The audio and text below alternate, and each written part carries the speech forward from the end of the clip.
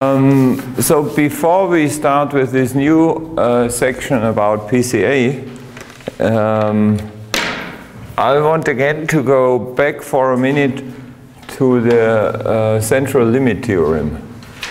Um, I hope you still remember what happens when you take, I mean, you have some uh, random variable x and an arbitrary distribution, like let's take for a moment a uniform distribution.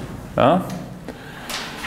Um, and then you would expect the mean to be right in the middle. Huh? So when you make a measurement for the mean of this variable, I mean, what is a measurement for the mean? You measure this random variable independently like 100 times and then you average over it. And then you would expect some value around the middle. And then if you look at this new variable defined as the mean, then this new variable again would have a distribution, a density function, and the density function of the mean asymptotically for n towards infinity becomes a normal distribution. Yeah? And the more experiments you make, the more narrow this distribution becomes. Um, and now I prepared an exercise for you, which is at the end of this new uh, uh, handout. And this is the result of the exercise. So you should get this. Yeah? Um, now look, if you take one measurement, that's the red line here, then you of course get a uniform distribution because uh, this is your random variable. If you take two measurements, then you get this. Um, okay, okay, and I have to uh, mention that the distribution only is a discrete distribution. You only have these five points. These five values, 0 through 4, each one with a probability of uh, 1 over 5. And now if you take two measurements, then you get these green dots. If you, if you do three measurements, you get this uh, blue uh, dots, and if, if it's four measurements, then this is what you get. And this is actually, I mean, here it's because it's such a simple, very simple distribution, it is possible to just manually calculate these distributions. And that's your homework.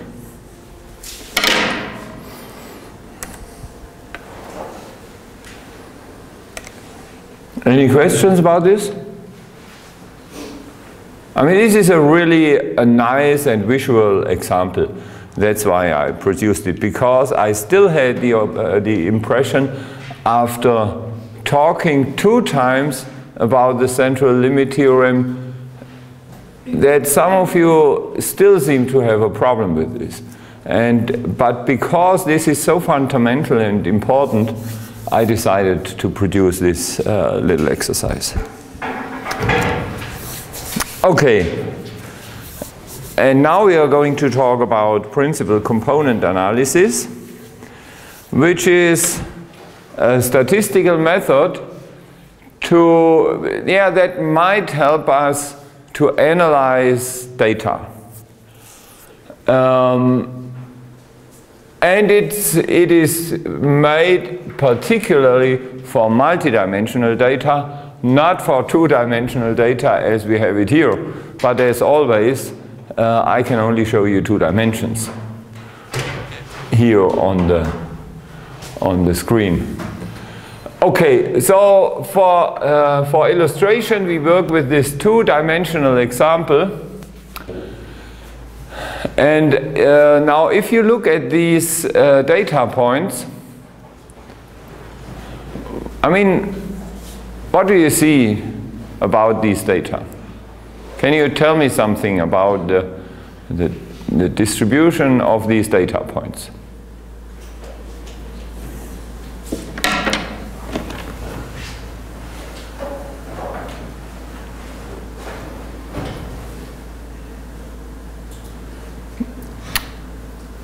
I mean, we just talked about uh, uh, random numbers.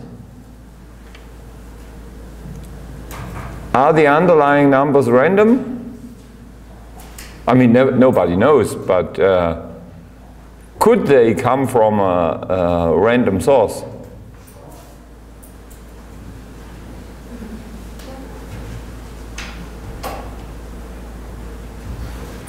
Tend. They tend to align, yes. Or in other words, if, if they were random, then they should be more evenly distributed in this square of length 1 and 1 on both sides. Huh? So they are surely not random. And as you said, they tend to align along a line like that. Huh? So there is some correlation in the data. And yeah, why don't we draw this line here? Um,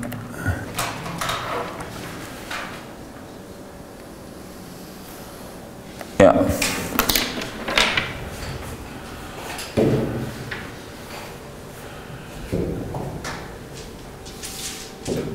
If the points would be exactly on such a straight line, all points exactly on a straight line, then one of the two variables would be completely redundant. Yeah? We would only need one of these two variables because the other one could easily be calculated from the first um, variable with a, a linear transformation. Okay, and now, look, our goal is to analyze high dimensional data like with 10 dimensions, 100 dimensions, even 1000 dimensions. And it's not uncommon to apply PCA to 1000 dimensional data. I, will, I will tell you about such examples later. And in 1000 dimensions, you can't look at the data, so you need a fully automatic procedure that determines whether there is some redundancy among the data. Um, maybe you want to reduce dimensionality. There are so many reasons for reducing dimensionality. One reason is stay, uh, saving storage. Another reason is maybe you want to apply to these data an algorithm uh, whose complexity uh, grows quadratically or even worse with the number of dimensions. And then, of course, it saves a lot of computational time if you can do it on, on less dimensions. Yeah? Um, okay. Now, how can we automatically find out whether we have such coupling between variables? And here in two dimensions you can see, so if they are kind of or a little bit aligned, then maybe there is redundancy. And how can we find this out? Now let's look at this uh, picture here. Um, why don't we draw the orthogonal uh, distance from the points to the line.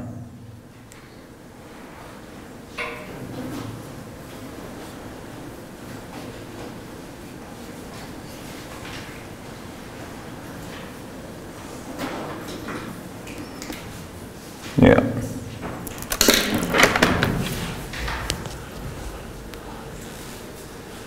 I mean, do you remember such a picture? From last semester mathematics.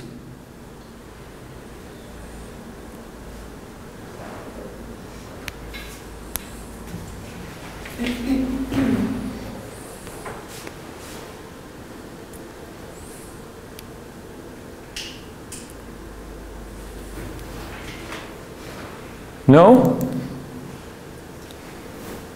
How about least squares? When we applied the method of least squares, And suppose for a moment we want to fit a straight line through these data points. Then what we did is we, we required the sum of the squared distances between the points and our straight line to be what? Yeah, to become a minimum. And look, here we have all these distances between the straight line and the points. Uh, there is a, a slight uh, difference to what we did last semester. The picture lo looked a little bit different.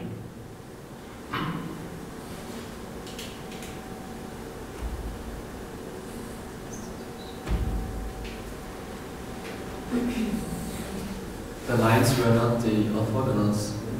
Yes, how? Yeah, that's that's correct. How were the lines? Uh, uh, vertical. Vertical. Yes, the lines were vertical because at that time we only looked at the y value on this axis here. Yeah? Okay, but now we take the orthogonal distance between the points and the line.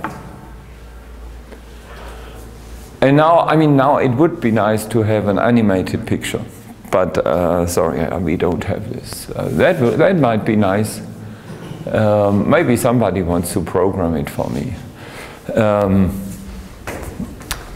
look, if we would have an animated picture and I would turn around this line like that, and, and all these distances then would move with the animation. Suppose we would, put, we would put the line like that. Then, of course, the sum of the squared, uh, the black squared distances would become larger. Because, for example, here this would be much larger, this would be much larger. And now imagine we turn around this line here, uh, and we, we, we could even move it like that. I mean, the question is which one is the straight line for which the sum of the squared distances becomes a minimum. And the solution would be a line somewhere around this. Huh? Um, and we could determine such a line in exactly such a way. So we would have to write down the sum of the squared orthogonal distances between the blue line and the red points. And then we would minimize this sum of squared distances and we would get this uh, blue line. And this is actually one way to derive uh, this re blue regression line. Um, but now let's, let's take a different view of the whole thing. Now we can, we can also look at uh, the at the variance of our data points. Yeah? And again, suppose we have this animation and we could turn around this line and we, we look at this line as a direction and we ask ourselves in which direction is the variance of our data points maximal. And it's exactly this direction. Huh? Uh, I mean, look at this orthogonal direction. Uh, here in this direction, the variance of our data points is minimal. Huh? I mean, that's interesting. So, and, and it, it really comes out. Uh, so, um, the, the direction of minimum variance is orthogonal to the direction of maximum variance. And I mean, we don't prove this here, but it is a matter of fact. If we look for the direction um, of maximum variance of our data, it's exactly the same as the direction of the straight line which has minimum uh, sum of squared errors to all the points. So we can take the, first or the second approach, we would get the same uh, direction um, of our straight line. Is this clear so far? Okay, so now I will follow the second approach. We will determine the direction of maximum variance of our data points. I mean, and I will follow the treatment in the Bishop book. Um, this is actually an excellent book. Let's look at the reference. Yeah, it's this book here. Christopher Bishop, Pattern Recognition and Machine Learning. Um, I mean, we do have it over there in our library in, in the institute. Um, okay, now, uh, yeah, let's start. So what are we going to do now? We are looking for a vector in our high dimensional space. A vector, yeah, and this vector, let's draw the vector again. And let's, oh, sorry. Um, and let's now put it in, into the origin, like this.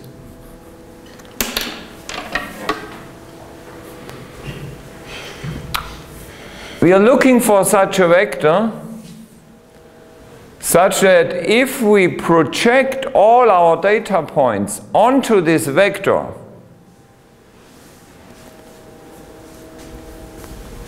look, projection of the data points on this vector would be something like that. We project this vector to, uh, sorry, here, and then we would get this guy. So you see, I mean, then the, the points would be distributed on this line, and then we would measure the variance on this line, and the variance of our data points on this line, when they are all projected to the line, is, is exactly what we want. Huh? Is this clear? Here on the picture? It's not exactly clear? Okay, so let, let's take a second point and project it onto the blue line. Let's take um, this guy, for example. And now um, we have to continue the blue line. It will be projected here. So this guy is here and this guy is here. Um, Oh, and unfortunately, we shouldn't have erased the other blue line. So the original blue line was here. I mean, it doesn't matter whether you project your points onto this blue line or onto this blue line, as long as these blue lines are parallel. Yeah. So then you get a distribution of points on this blue line and you determine uh, the variance of the, the points on our blue line. Yeah? And of course, as I already said, the variance depends onto the direction of this vector.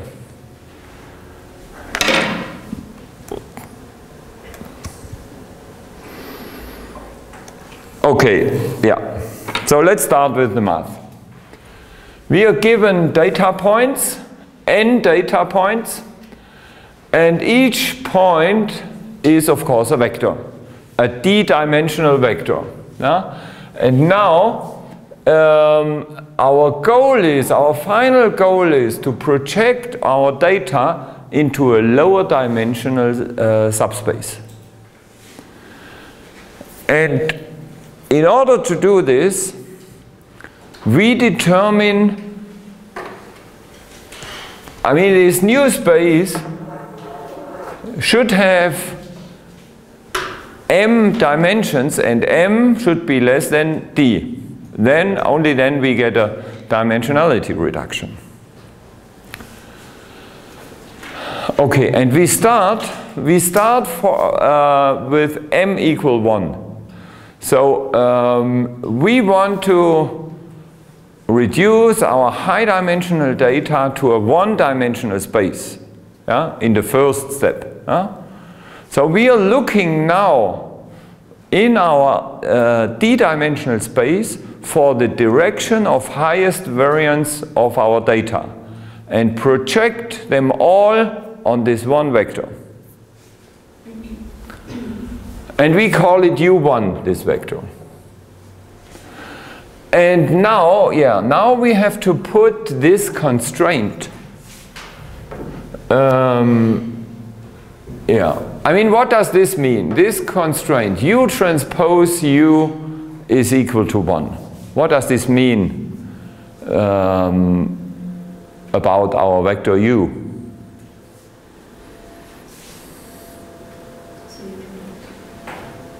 Hmm? Loud? It's a unit vector. It's a unit vector, yeah. It's a vector of length 1. We have to, we have to make this restriction. Uh, restriction. Um, otherwise, um, otherwise we would allow um, vectors of all of arbitrary length. Yeah? And then, yeah, we will be Look, if we have such a vector xn, yeah, and we multiply it with our vector u1 transpose, I mean, that's typically what we do when we project a, a, a data point vector onto this vector u1. Yeah? When we do this, we compute such a uh, uh, inner product, then this gives us a projection. But the projection actually would be if we would divide the whole thing by u transpose squared. Huh? Then it's, it's, it's a normalized projection, and then it's really the projection. If we would omit this, then the result, of course, would depend on the length of this vector. Yeah? And remember what we are going to do. Remember the picture. We are looking for the direction uh, where we get maximum variance. We want to maximize the variance. Now, if we would this u1 vector allow to be arbitrarily long, then the length of this vector would increase the, the projected values and then we, we wouldn't get a maximum. Then uh, the, these, the sum of these products would go to infinity and there would be no maximum. But if we restrict the length of this vector, we have a vector of fixed length and it, we just turn it around, then we, we will determine the direction of maximum variance.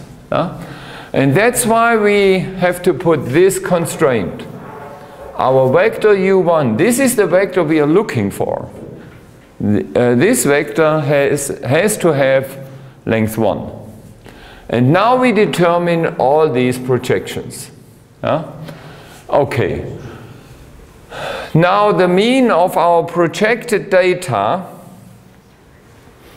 is 1 over n times the sum over all the projections, of course. I mean, that's just the, the, the mean vector. Huh? Or it's, it's, I mean, we could also say this is the vector pointing to the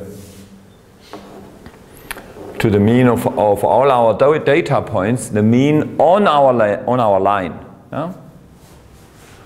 Okay, and here you see this vector u1 transpose does not depend on n, so we can pull it in front of the sum, and that's what we get. And look here, this is the mean of all our data points. So we have u1 transpose times uh, the mean.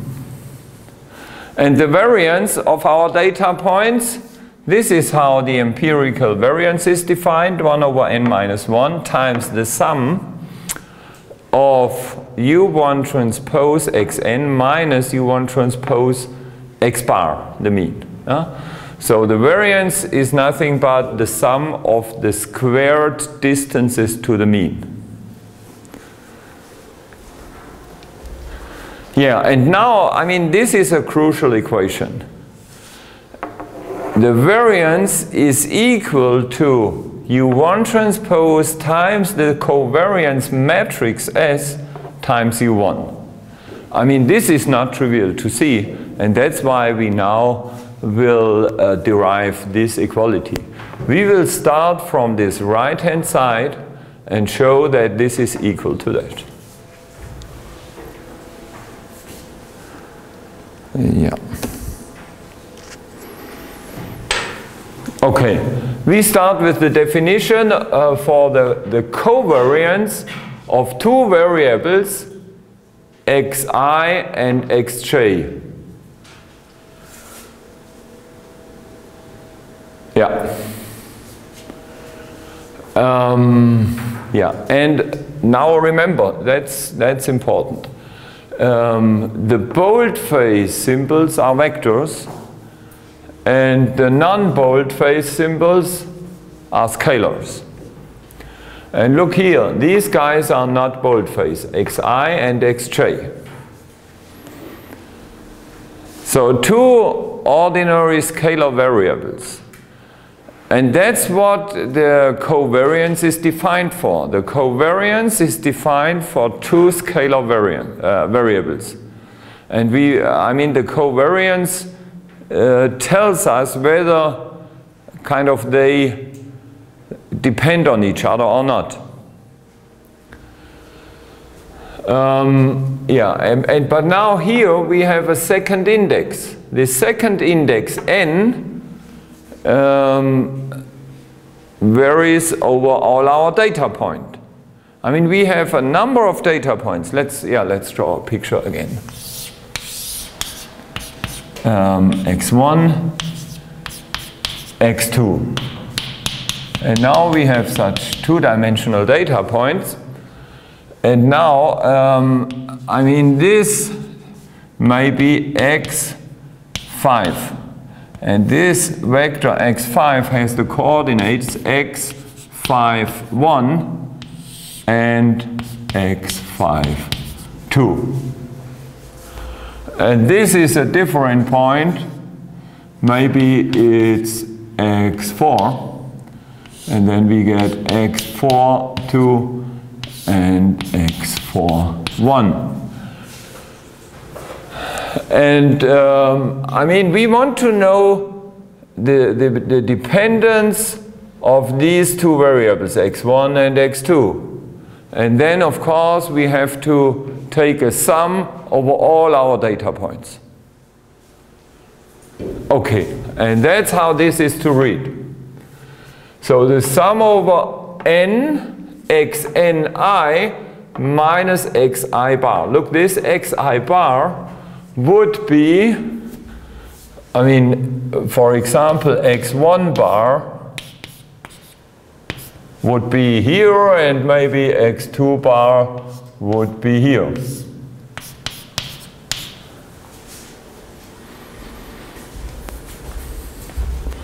Okay, and that's how the covariance of two such variables is defined. And now in the next line we have the definition of the covariance matrix. We could just say this is the matrix containing all these Sij. Um, what do we have here? The sum over, and of course now here we have vectors.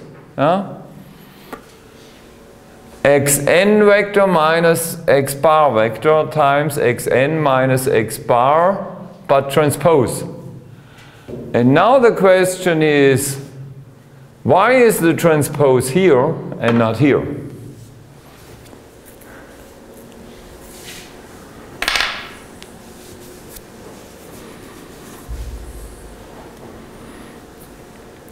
You see, this really goes into linear algebra a little bit. That's actually why I gave you uh, a new exercise about linear algebra in a little bit higher dimensional spaces. But I will talk about this later. Now the question is, why is the transpose here and not here?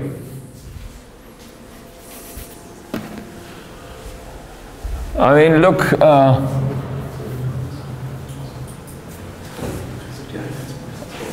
look, this is, this is actually one vector multiplied with, it, with its transpose.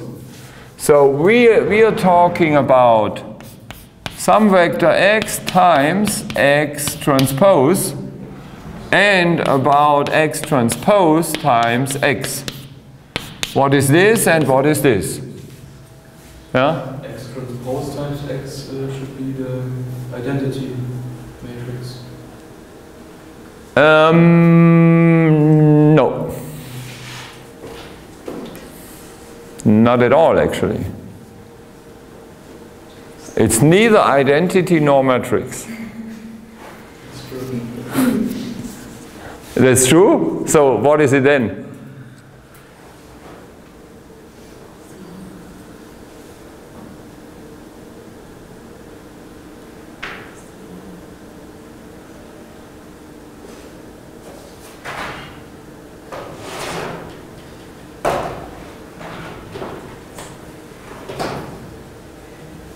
What is it then?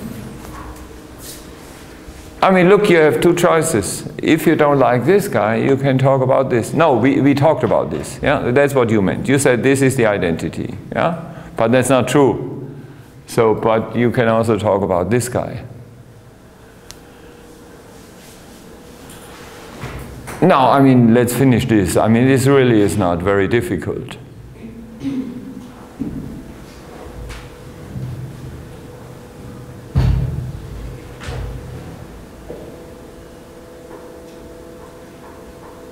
Don't frustrate me so much on Monday morning.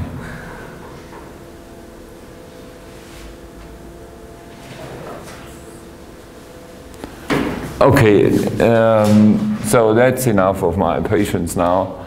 Um, look, our vectors are column vectors. Yeah?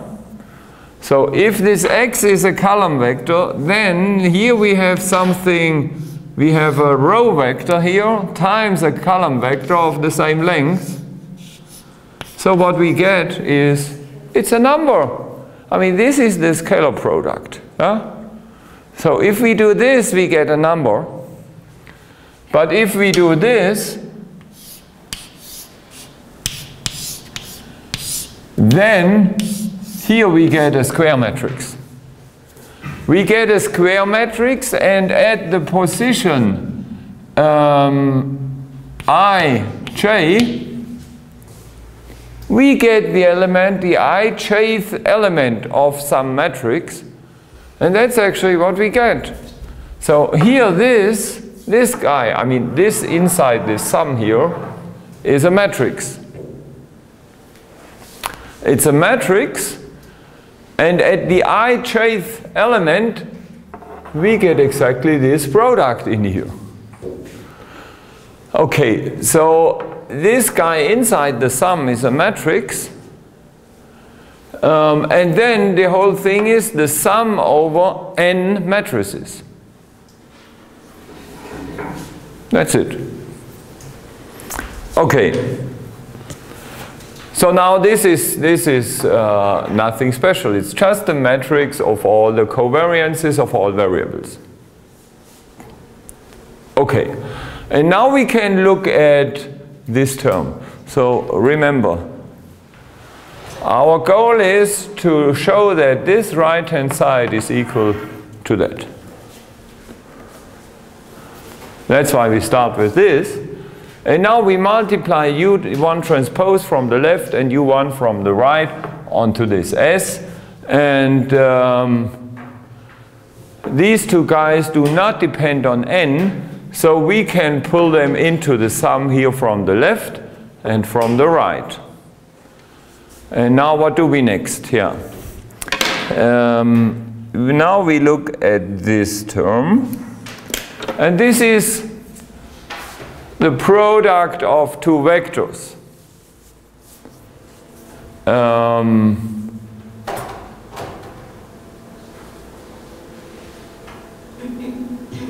now let me let me see. Um, so we have a vector x transpose times y. Um, oh, is this correct? So what happens here?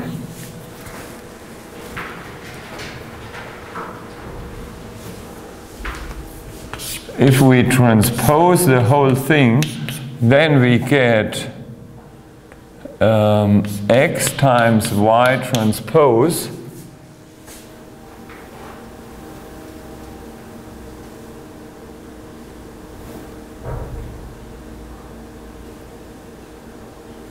Oh, no, sorry.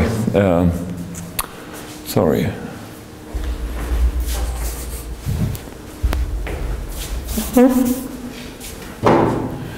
Uh, transposing this is y transpose x. Yeah. Or, and I mean, the, the, the general formula is x times y transpose is y transpose x transpose. Okay? So if we transpose this product, uh, we have to exchange these and transpose both of them, and that's correct. Yeah.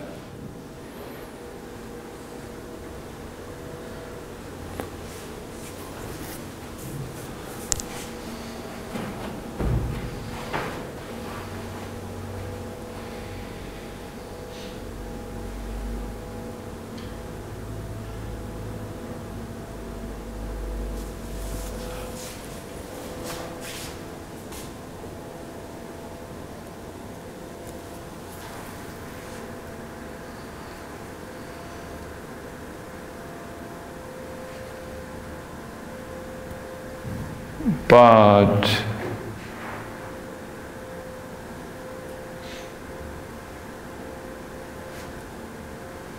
what we have here is not this. Because here we don't have a transposer in the whole thing.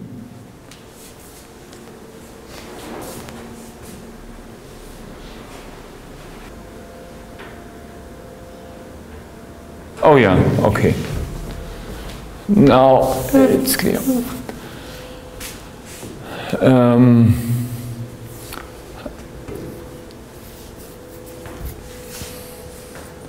because here in this particular example we actually have x transpose y is equal to the transposed. Huh?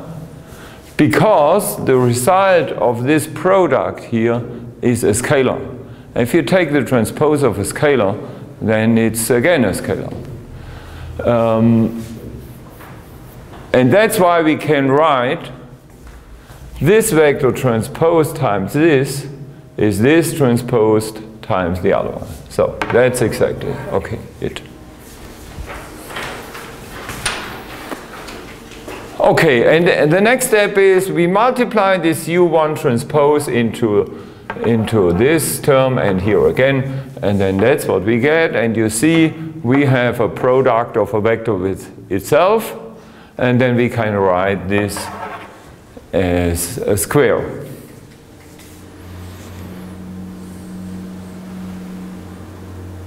Yeah, and that's actually what we have here. So now we have, we have shown uh, this equation. And why is this equation so important? Yeah, let's look here. Um, yeah.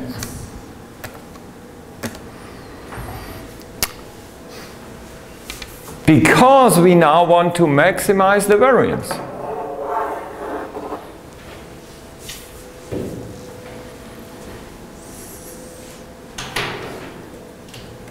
Yeah. Um, Look again. So this is the variance of our data. Yeah? This is, oh, did I talk about this actually? This is the variance. So um, the variance, yeah, uh, the variance of the projected data. This is the variance of the projected data. So the data on, the projection of the data on our line. U1 transpose xn. That's the projection.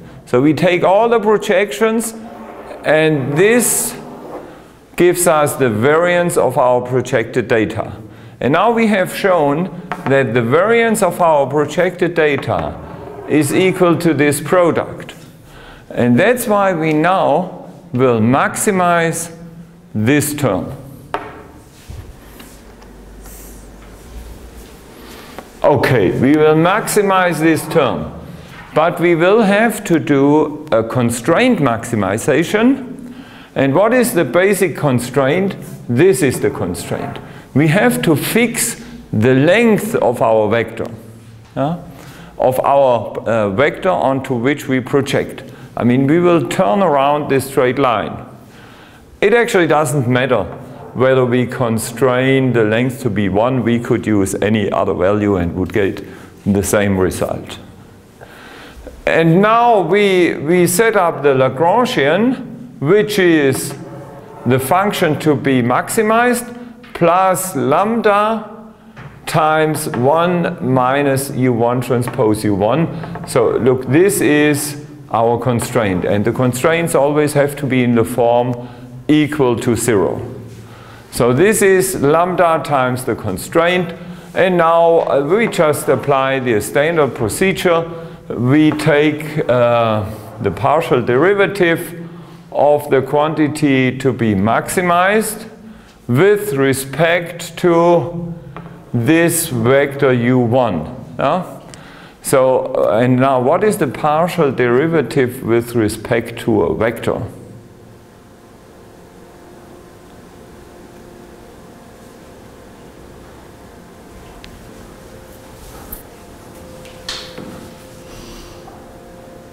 Have you ever seen uh, such a, a, thing like partial derivative with respect to a vector?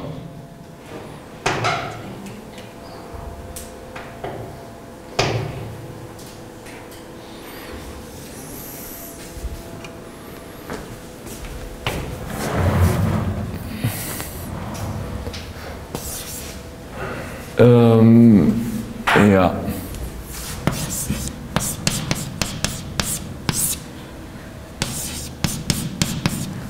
So we have a function depending on a vector x and we derive it with respect to this vector x.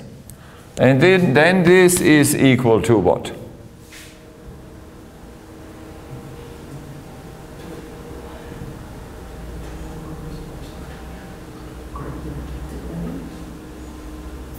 Louder. It's a gradient, of course. So it's the column vector df of x with respect to dx1 up to xn. This will actually be important for you for, for the first exercise. Yeah?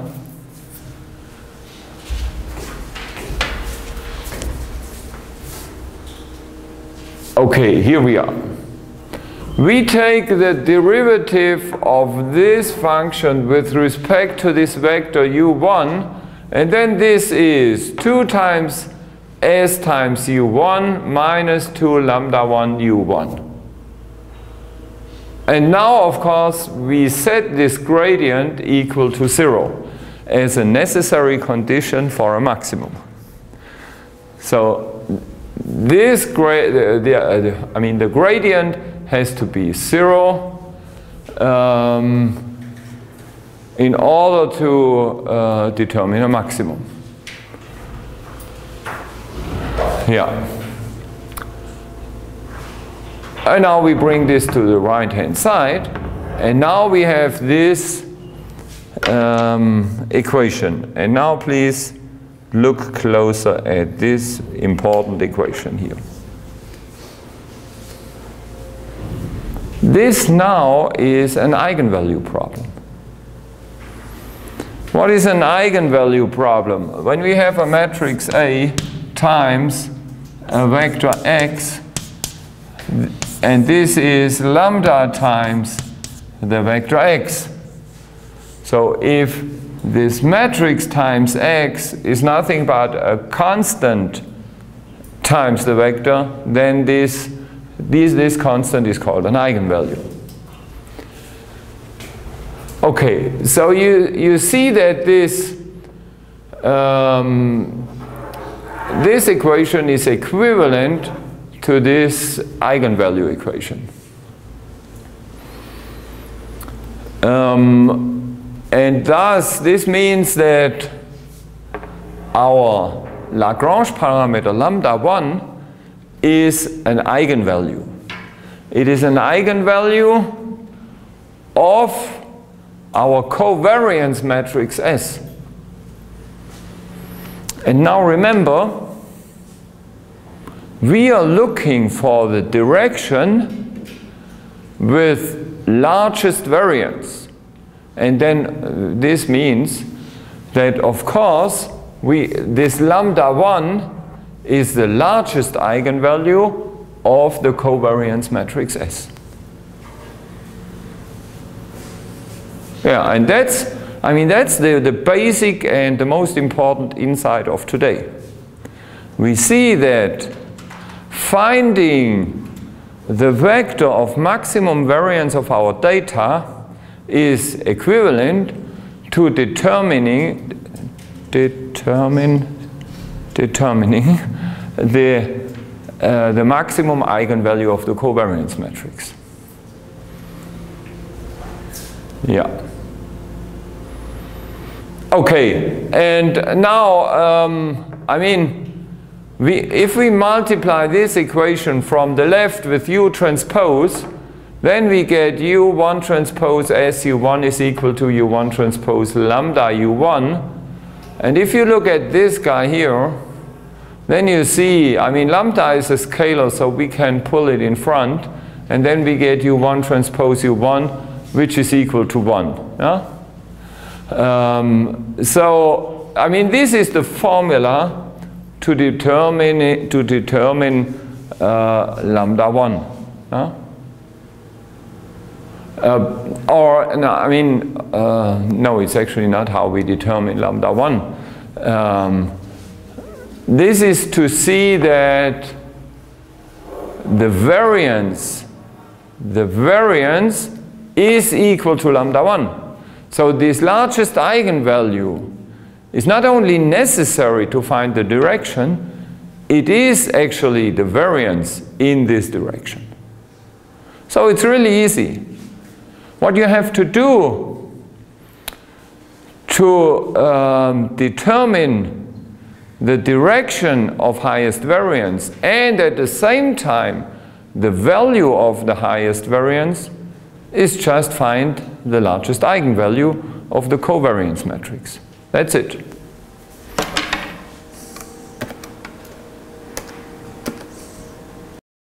Okay, and now we can write this down in a theorem. The variance of the data points is maximal in the direction of the eigenvector u1 to the largest eigenvalue of the covariance matrix S. This maximal eigenvector is called the principal component. That's the principal component of our data, of course. And now we apply this to our little two-dimensional example. And what we get is these two eigenvalues, 0.128 and 0.011. And I mean, here you immediately see um, that these data are by far not random because these two eigenvalues are by more than a factor of 10 apart from each other. And the corresponding eigen uh, eigenvectors are these guys here. Uh, so this is the eigenvector to lambda 1. So the eigenvector to the largest eigenvalue. And this is, uh, so this is the principal component. And if we look in our diagram, so in x direction minus 0.78 and in y direction 0.615, that's this vector. And it points exactly in the direction of largest variance. That's exactly where we expected uh, the principal component to be. And this second vector u2 is this one, and it is orthogonal to, um, to u1. And look at these two vectors.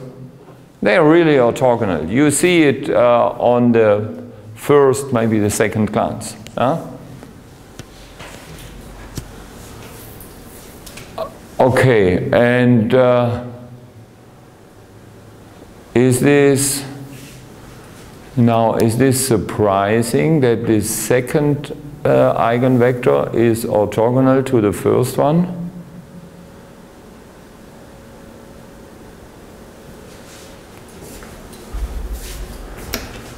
Um, I would say yes, it is. Yeah, I mean, we didn't see this yet. So from the, from the derivation we did up to now, we just calculated the first eigenvector. But I mean, what I did here, I, I, I just applied octave uh, to solve the eigenvalue equation, and it, of course it gives you all eigenvectors and all eigenvalues. We would have actually only needed these two guys, but we got these two also. And so maybe for this moment uh, it seems to be surprising that this guy really is orthogonal to this one. You can immediately see it, multiply them. You get plus the product of these two numbers minus the product of these two numbers, which is zero. So they, they are orthogonal. Okay, and uh, yeah, this is, this is true in general. So now let's look at, so is this, I mean, is this on the picture orthogonal?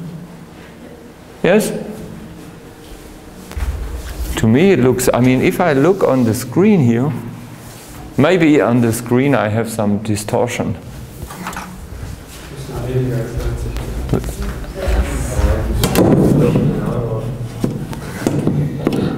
Oh yes, this. Look, it's not orthogonal. But I mean, may the reason be because the the, the screen is uh, has a distortion? I guess I guess that's. I mean, I, I really tried it, or maybe the screen, my screen at home, because I drew it on the screen, is different. So it should be orthogonal. Let's put it like that we define it to be orthogonal. Okay, but actually, I mean, this is just an image. This is the truth. Oh no, this is still not the truth because it's only on three decimal places. But I mean, we will now show that it's really true. Okay, so now we will generalize this method. Remember, what did we want to do I mean, we want to reduce the dimensionality of our space from maybe 1000 dimensions to 100 dimensions. Um, up to now, what we did is, I mean, we found a method to reduce the space from 1000 dimensions to one dimension. And maybe that's too, uh, too much. Huh? because we would lose too much of our information. Uh, oh yes, um, and uh,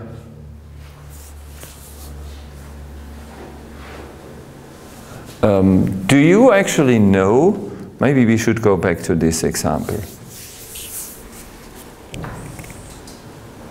Do you have an idea how, I mean, how do we reduce the, the dimensionality of our data?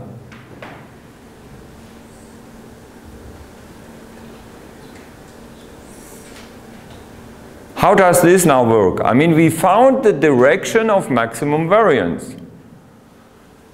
But now, I mean, look, you have this file of two-dimensional data. A file of data points, each point with two components. And now our goal is to trans transform these data into a new file with one column only. Now, how does this work?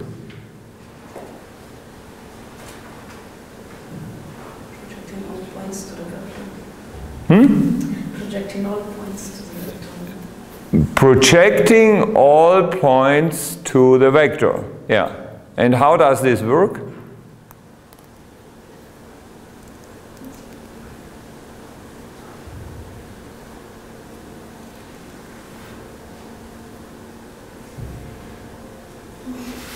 Maybe that question is too trivial because, I mean, it's only this product of the, the we, we have to multiply this eigenvector transposed times the vector of all the points.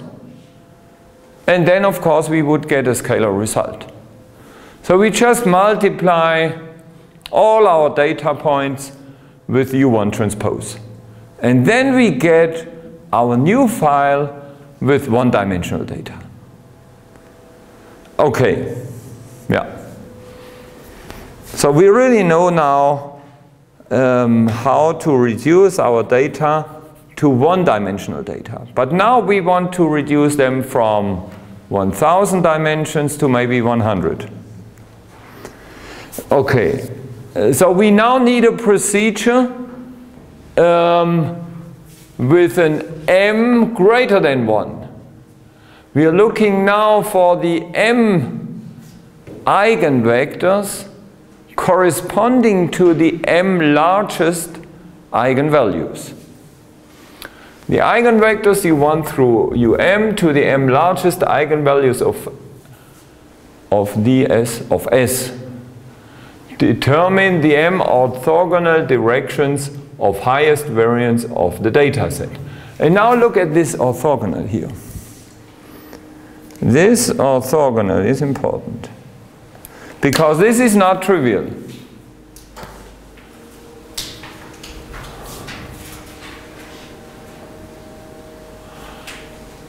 So that means the eigenvectors of the covariance matrix are always orthogonal. And this is not trivial. This is a non-trivial result.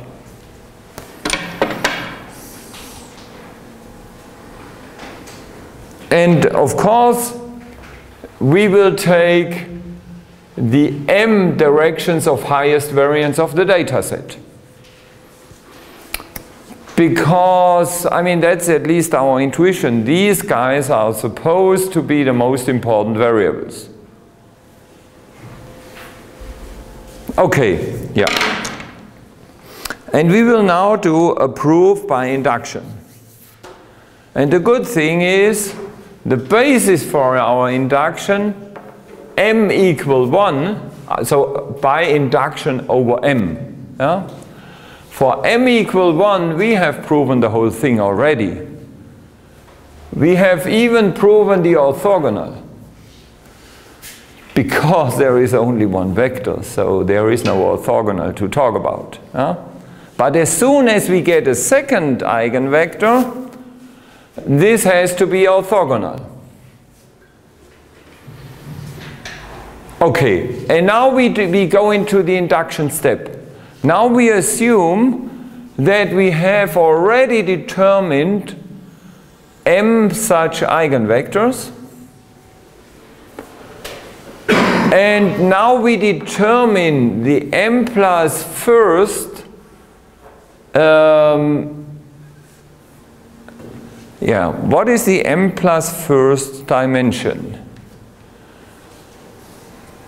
So we have determined the m directions with highest variance.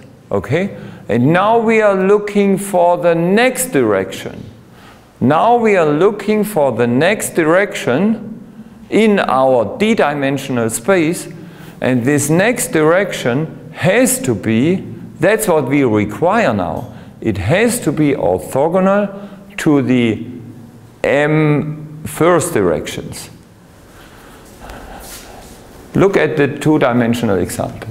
This is our first eigenvector we get to the largest eigenvalue and now we require, we say, okay, now let's look at the direction orthogonal to this first direction. Yeah? One was it this one, the highest ends. We, are, we now want to, de to, de to determine uh, this direction. Yeah? I mean, in two dimensions, this is trivial because there is only one direction left. But suppose we are in three dimensions, then uh, we found one vector, but now the question is, which is the direction of a second orthogonal vector? And of course, I mean, in three dimensions, if this is our first vector, then orthogonal is a plane. Yeah? And then the next vector may be any of these infinitely many vectors in the plane. And if we are in 1000 dimensions, then uh, there are 999 left for the second vector. Uh? But we require the next vector to be orthogonal to all the guys we found already. Uh? Um, because, I mean, why, why do we require this? Because we, we already covered this subspace of the first m variables. So we really want to look in the orthogonal complement of our vector space. Okay, so now that we require this guy to be orthogonal. And then now what do we have to prove? I mean here it looks like we have to prove that all these directions are orthogonal. No, we require them to be orthogonal and now we prove that these are exactly the eigenvectors of the covariance matrix. That's what we prove.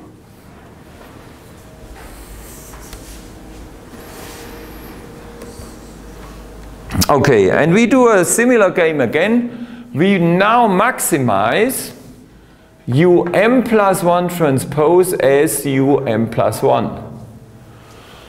Now remember, what is this U transpose as U? Um, where did we have it? Here. It is the variance. That's the variance. And now we want to maximize the variance of this m plus first direction. We are looking for a new direction with maximum variance. This is the new direction, um plus 1. Yeah? This is the new direction in our orthogonal space and, and in the orthogonal remaining space, we are looking for the direction with maximum variance. I mean, and that's reasonable. Okay. Um, in the orthogonal subspace, and that's why we have all these constraints, because this new vector has to be orthogonal to u1. And that means the product of these two guys has to be zero. And it has to be orthogonal to u2 and so on up to um. So we get, we get these m constraints for our maximization. Okay? And of course, we also have the, norma uh, yeah, the normality constraint um, so again, we uh, require this new vector to have length 1. Okay, so now again, we do a constraint maximization. We write down the Lagrangian, which is the function to be maximized here, plus lambda m plus 1 times this normality constraint plus the sum over all these constraints together with multiplied with their Lagrange parameters, we call them eta i, and these are the constraints. Yeah. And now we, again, we do the same game. Um, partial derivatives, setting them uh, zero, and that's the result we get. And look, we get again the eigenvalue equation. And this is, I mean, uh, this uh, little step here is your exercise. I mean, this is really just applying the scheme of uh, setting the partial derivatives equal to zero. And that's the result. And again, this is a really nice result. I mean, sometimes mathematics is really nice. Yeah?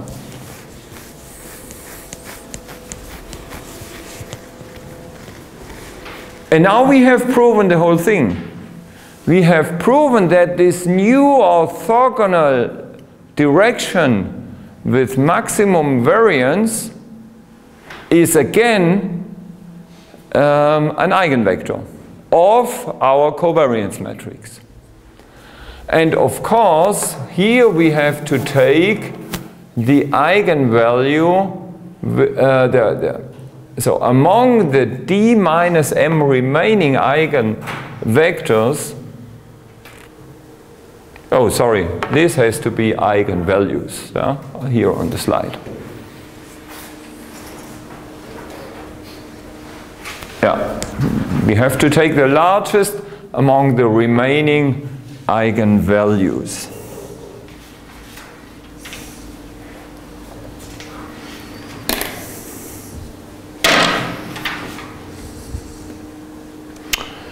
Okay, so now we have proven this uh, second uh, theorem.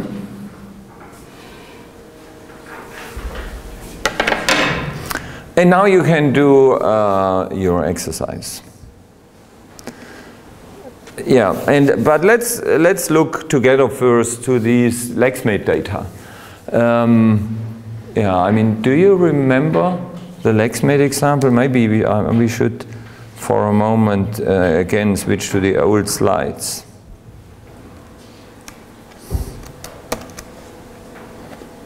No?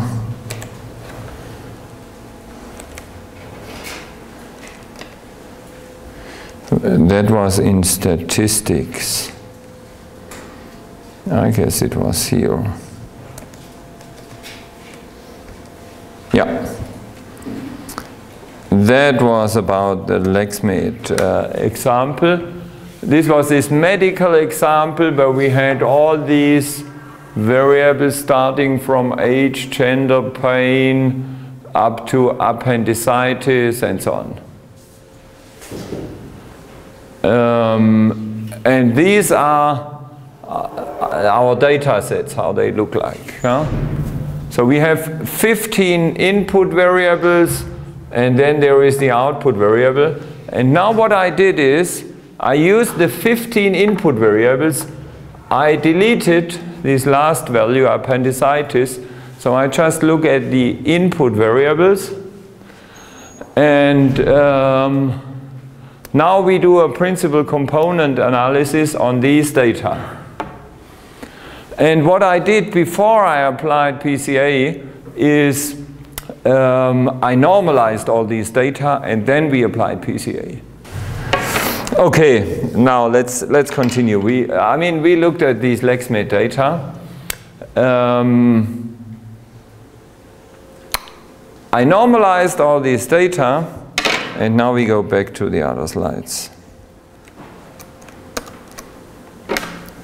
And what we have to do is really simple, simple and basic we, we calculate all the eigenvalues of the covariance matrix of these data points. And here we have the eigenvalues sorted.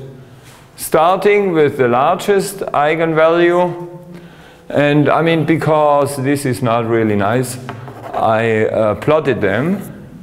So this is the largest eigenvalue, the second largest, and so on. And that's how PCA in, in practice can be applied. So you make a plot of the eigenvalues, look at this plot, and then you manually decide how many of these components you want.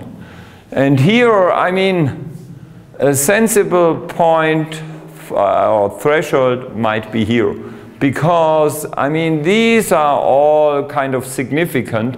And here we have a step, and maybe we, could, we can neglect all these dimensions. So this means we have two, four, six, seven. Uh, the seven largest eigenvalues are now the principal components that I select. Okay. Um, yeah. And yeah, and now the question is, so what next? What next? I mean, we want to reduce dimensionality of our data.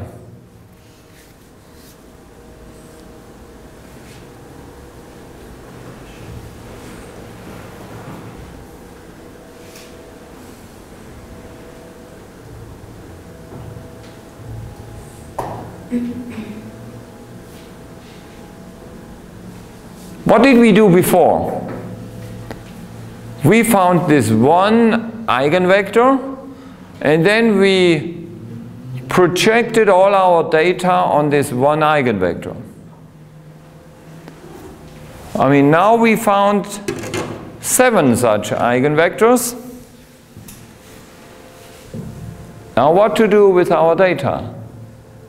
Yeah, of course, project them into this seven-dimensional new space or seven-dimensional subspace. How does this work?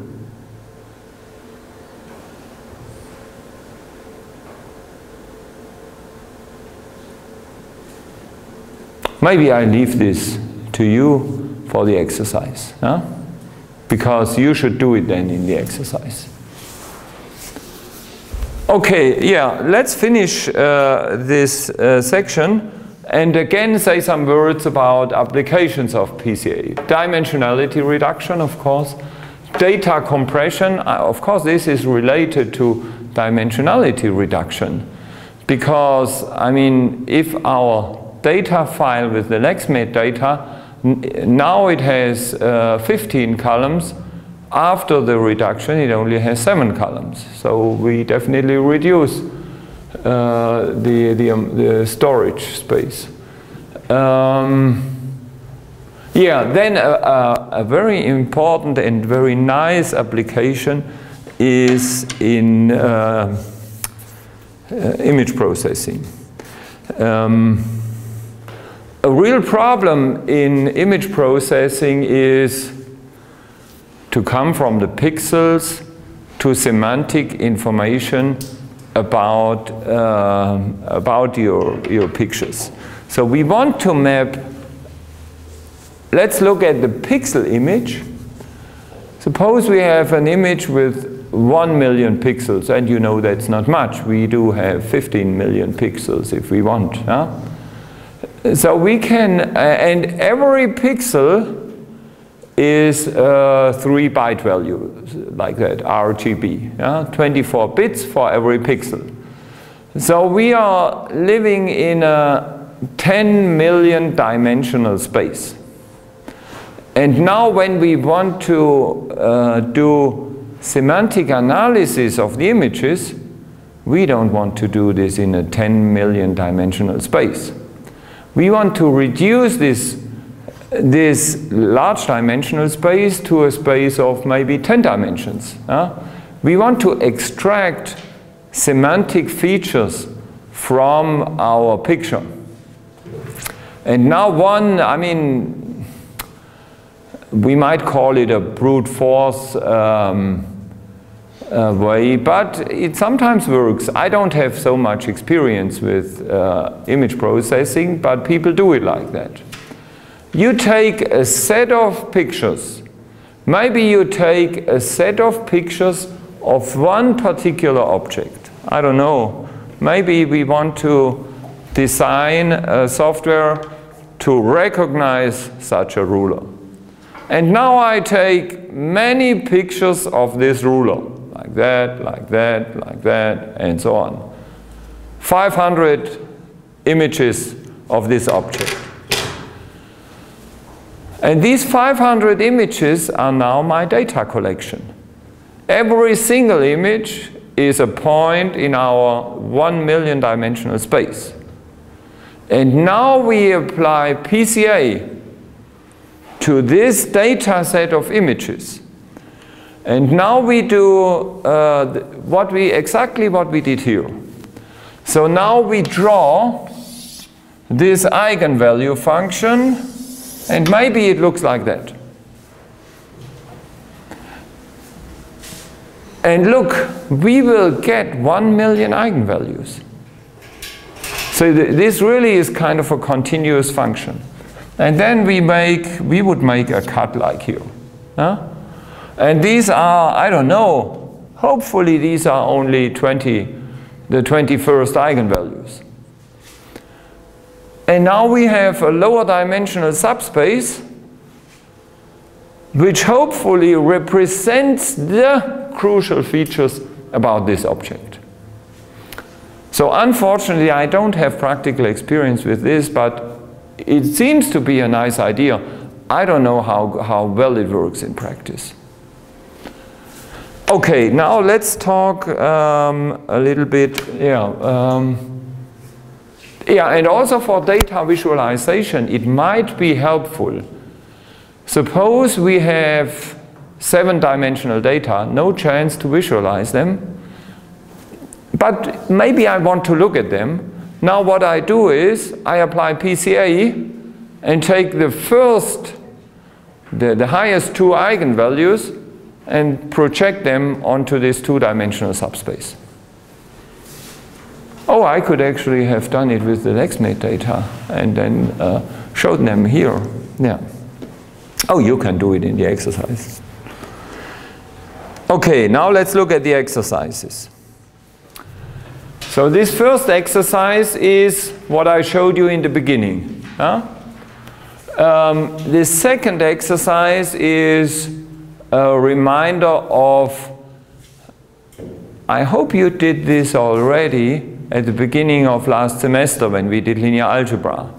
So this is the partial, calculating the partial derivative with respect to a vector of such a product of two vectors, and that's the same thing of a product uh, vector matrix vector. Um, I mean, on the website there is this sheet called matrix identities and there you can find these formulas but I want you to get a little bit of understanding and uh, do exercise on this linear algebra derivative stuff. Okay, and this is about completing this proof of the second theorem. Um, and now here you, uh, this is the PCA application example. So you shall apply PCA to the LexMed data and uh, there is this file, you find it on the website to the lecture um, with 15 variables. Um, yeah, and now the uh, first determine eigenvalues and eigenvectors from exactly these data. Then normalize the data to the interval 0, 1 and repeat PCA, now of course look at the difference. What differences will you see when you do it with the not normalized and with the normalized data? Um, and here select the largest eigenvalues, you select how many you take and do the transformation of the data into the lower dimensional subspace. Yes, and of course, now if you take the first two eigenvalues, then you have a two-dimensional subspace and you can plot the LexMed data. Huh? Okay, so that's it for today. Thank you.